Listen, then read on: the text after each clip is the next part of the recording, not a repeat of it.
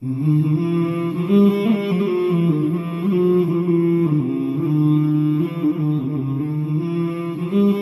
l'heure du Karim. Bismillahirrahmanirrahim. Anas ibn Malik radiallahu anhu rapporte que Rasulullah sallallahu alayhi wa sallam a dit Le musulman qui rencontre son frère d'une manière qui plaît à Allah, à savoir chaleureuse, afin de lui faire plaisir, Allah le rendra heureux le jour de la résurrection.